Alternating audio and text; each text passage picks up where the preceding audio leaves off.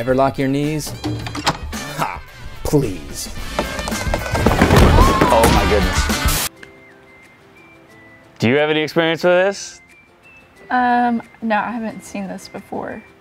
Um, but I will say, as someone who tends to faint when I get very nervous, I would not be surprised. And I think that doing some breathing exercises or whatever you can um, before you're in that big moment is important, especially if you know that this could happen or it has happened before. Yeah. Um, the uh, the ceremony, you know, you think it's going to be all, you know, we'll get up there, we'll say our I do's and get out of there. But obviously, dependent on the officiant you choose, um, some ceremonies last a very long time. Um, Roman Catholics come to mind. That, that that's a long one. Um, you know, there's different. Well, just that and you're just in front of so many people, and it's like it's such a big pivotal moment in your life that a lot of people. It's just so much, um, you know, anxiety leading up to that moment, whether it's good or bad. Hopefully, it's good. Um, but I think that it's really easy for people to just hold their breath and not even realize it, and you're down. Yeah. So just be aware that you're breathing. Learn to breathe, kids. Betty locked his knees, definitely. Oh, you guys look so beautiful. Soak it in. It goes so fast. Snake!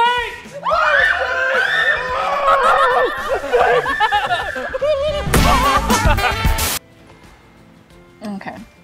So it's funny to these guys because they didn't pay for it. But all I'm saying is I'd kick them out because I'm not about to have them ruin my ceremony. Yeah. Um, I'm not a fan of wedding pranks. this goes back to you know your your guest list and and picking the right people.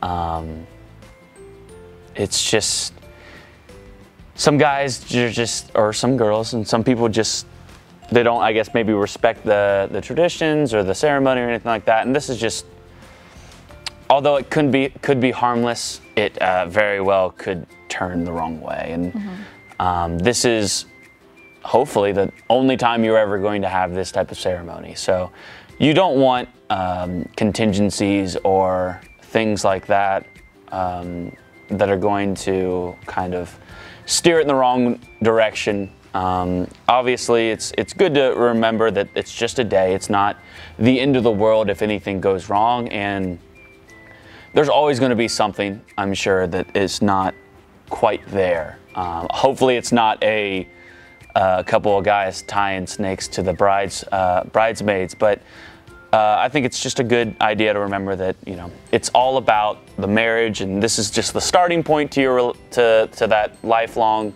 relationship. This isn't all of it. Yeah, this is about the bride and the groom. Don't bring attention to yourself.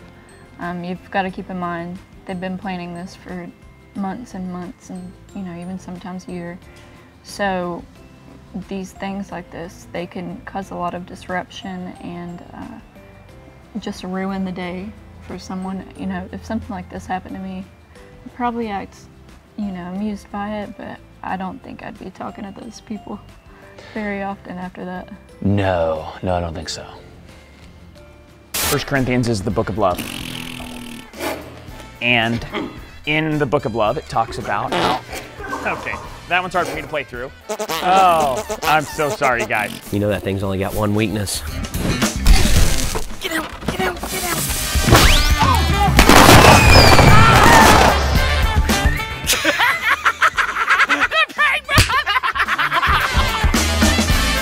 Best man, will you please present the ring? I'm gonna be honest with you, man. I don't have it. Oh no! So does this actually happen? I mean, you see it in you see it in movies and TV all the time. It seems like the best man just kind of. I always imagine like they're getting married above the water and they drop it Oh no. into the dock. Um, I think that you should probably have a checklist. Don't just leave it to one person to make sure you have everything um, this should definitely be, you know, you've got like two backup people going through the list before they walk out that door, making sure they have everything done. Also, a planner would not let this happen. So, a good planner.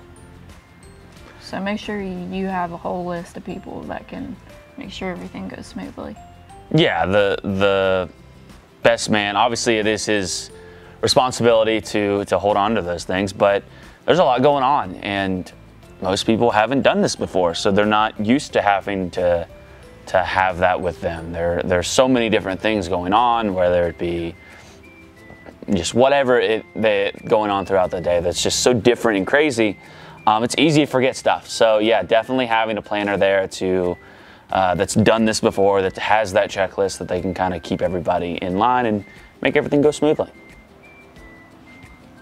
This one, it's my wedding band. It doesn't matter, it's fine.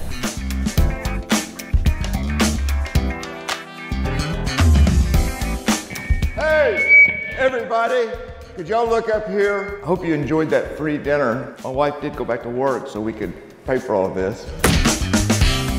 My name is Tara. I deserve this mic. I have some things to share on our special night. We're so glad she's marrying somebody with a relatively short name, Ryan Sweeney. Sweeney. Sweeney. We didn't need a dating app to know that we both fit. I'm not gonna lie, I didn't really prepare anything for you, dude. I totally Nice. forgot. I've seen a few awkward speeches. You know, I mean, I think it might have been awkward for some people, and then maybe it made sense for others. I've seen some where people try to be funny and they're just kind of mean. Yeah, I could see. You know, just pick the right person for sure. Yeah. Um, and if you are the person who is chosen, inside jokes aren't going to be. No one's going to understand inside jokes. So stay away from them because they're just going to come off as mean. And in addition, just bringing up, you know, stories or what have you of of before the the people were married or anything like that. I think probably the best thing would just run the the speech by the the couple maybe or or by I mean- somebody so you're not you know you get in your own head and you write your own speech and you think everything's really really funny but have someone look over it to make sure you're not just Yeah, I mean, if you can find someone, you know, the parents, one of your friends, somebody to just run it by, because I think it's very easy to come across as mean um, to other people. Uh, you don't want to cause a whole lot of emotions because this is already a highly stressful day. Um, people don't want to be crying or think about, you know, whoever they married. They don't want to be thinking about their ex from five years ago. So yeah this is up. this is not your stand-up hour to where you can you're getting uh, you're trying out for comedy central just i would probably err on the side of the caution if it was me and just I like- give something nice you know I like a little bit of comedy. I think Of that course. they're funny, but like we were saying, you've got to think about your audience. Uh, make sure that you're not saying anything that's going to be bring up bad memories or um, just ruin it. Because once you do that, there's really no going back. yeah and prepare something you saw the last guy he just wung it that's that's a bad idea at least have some bullet points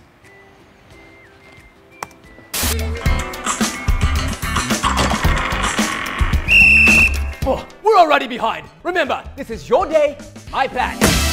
You! Move that van over there! Get moving, I'm gonna stuff those flowers in your mouth. And are we ready for the hair? I already did my hair. No, not how I would have done it. Okay. it sits a little close to home So I definitely think your planner um, is there to make sure everything is going to schedule. I've been at weddings before where uh, they don't, you know, the bridal party just disappears for an hour and throws everything off. It, you really have to make sure that you're staying to the schedule or it's just going to mess up other things. Um, it's not uh, great for the, the vendors, you know, if the caterer is planning on serving dinner, but you're off somewhere, you've disappeared, and they can't serve dinner, that just means they're going to be there longer. Um, everything's going to be just kind of put off by that one moment. And uh, making sure that you listen to your planner is important. I don't think that planners should be like drill sergeants, uh, but it's important and they should have a little bit of a mean side to them because if something goes wrong or someone unwanted shows up or you know someone's causing a problem they are there to take care of that and you want to make sure that they can do that rather than just coming off as a pushover or too nice Yeah, obviously, um, this was an over exaggeration of kind of being a planner, but you know, you have to have that balance, and I think that our planners here at Pop Event Company, our coordinators, really uh, strive to have that where um, they're helping you through uh, you know, the pre-planning where things can be completely crazy. We've had uh, brides crying on phones, you know, and we're able to talk them down just because it's so stressful. And then that big day of the day of coordination is keeping everybody on on in schedule and keep making everything run smoothly. But obviously, uh, have a little bit more touch than this guy. Um, he was uh, a little overkill, um, but you're right. Ha- being able to kind of kind of flip that switch and make sure everything goes good is is important while also you know understanding that people are on edge emotions are high that's one of the things uh, wedding jobs as opposed to when we do events are, are have so much more emotion um, and that's something we have to take into consideration that Yeah. And also, when you get married, you don't want to be pulled around, um, you know, 500 different places. So, a good thing about a planner as well is they can kind of be your buffer. So, if you have your third cousin and your aunt and your uncle and your friend from elementary school, and they're all trying to pull you, you know, you can kind of tell them that and they can kind of calm you down and get you to where you need to be, get the ball rolling. Um, you know, make sure the right tables are getting up to get their food if you have a buffet or something, and making sure that cocktail hour goes well, just all that stuff. So, um, the stuff that you don't really want to have to worry about on your wedding. yeah.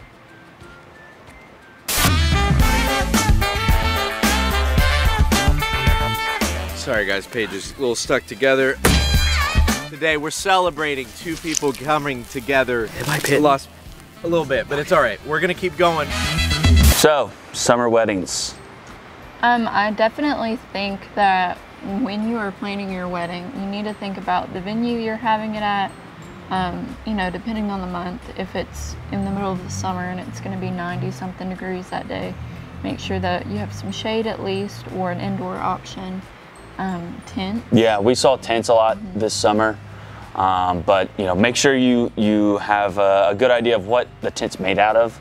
Um, clear tents in the summer months almost act as magnifying glasses, so they can make it even hotter inside the tent than it is outside. So, you know, tents that have a, a solid um, fabric, uh, tent fans work really well Misting station. misting stations. Uh, yeah, it's just um, you just have to take that into consideration. Um, obviously, the summer is a beautiful time to get married, and it, a lot of the venues, especially the outdoors ones, look awesome.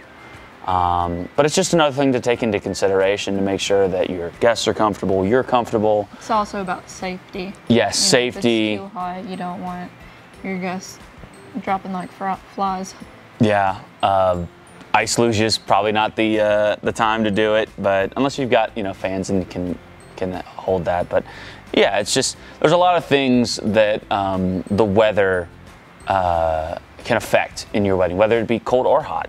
Um, Now that we're in kind of the the colder months, um, you can see by our Pop Event Company hoodies, uh, this was not planned, um, but yeah, and it just always changes with the season. So having somebody who's been through it all, obviously we are always going back to get a planner, get a planner, get a planner.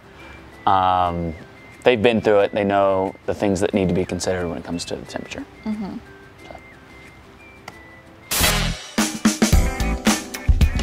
Oh, I'm sorry. Nice dress. Really makes it. Okay.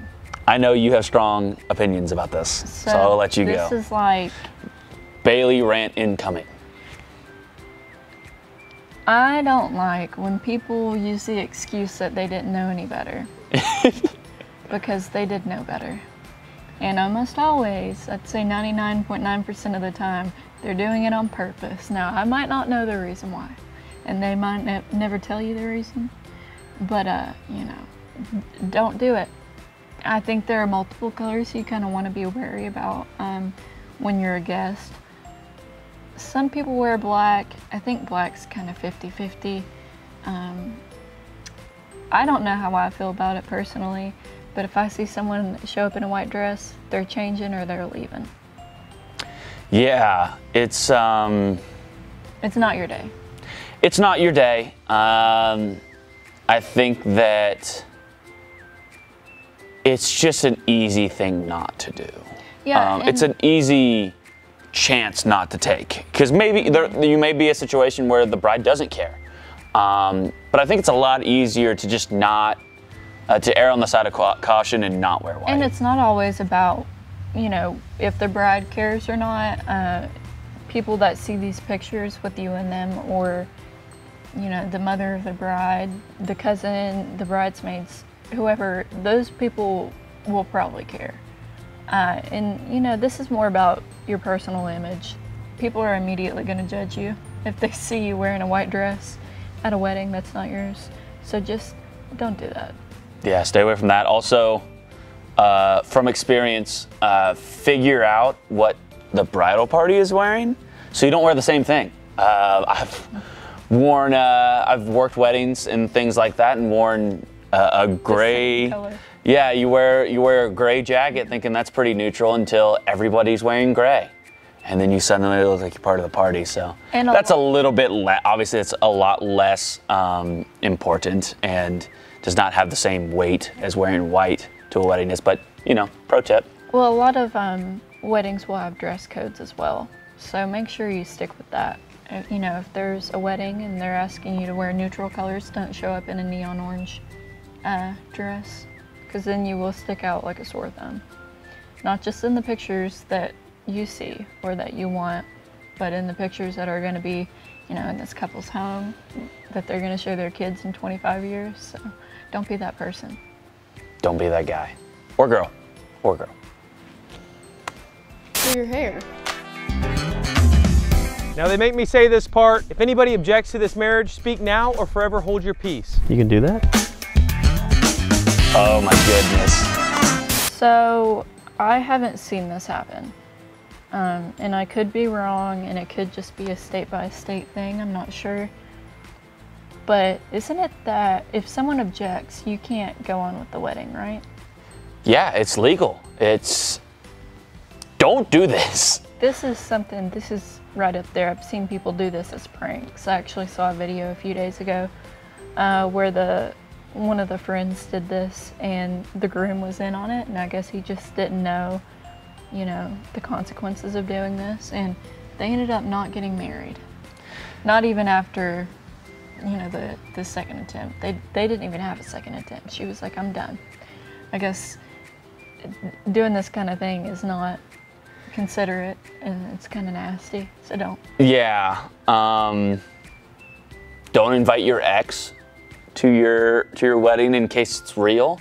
Don't cause, don't bring people that you know are going to cause problems. Um, there have been a few weddings where people have been worried about, you know, a certain person, and my best advice is if you're worried, don't invite them. You don't owe them anything. This is your day, and uh, if you're worried that they're going to cause an issue or ruin the night, then they don't need to be there. Yeah. Um, and there obviously there are ways to, to go about that. Um, you know, obviously family and things like that can can make things tricky to where you, you feel like you have to invite, you know, third cousin Robbie, You don't have to Um, invite Uncle Steve. drunk Uncle Frank. Uncle Frank, yeah, you don't have to invite drunk Uncle Frank.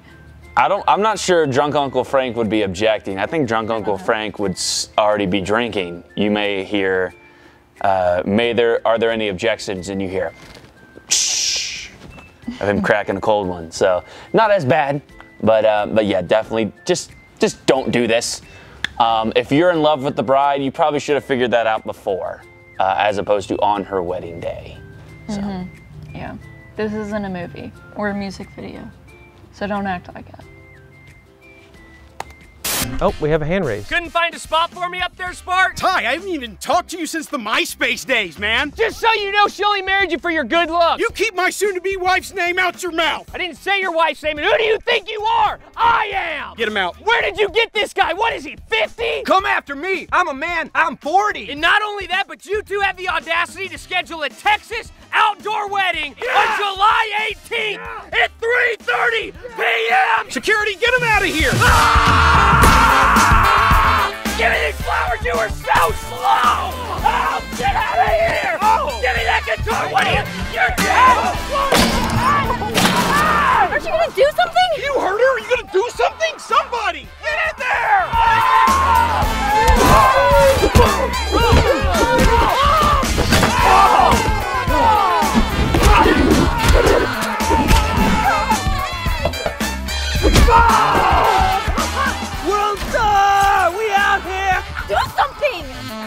I got it. Stacy, it's okay. I promise everything's fine. Stop that man! He's ruining my wedding! It's not your wedding! Police!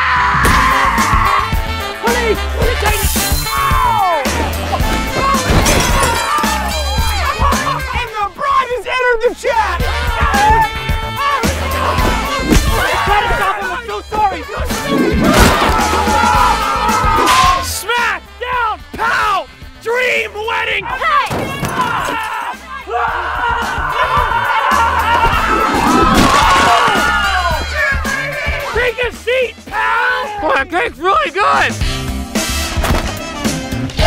I'm so glad we left. Yeah, me too. You look so good in white though. Stop it!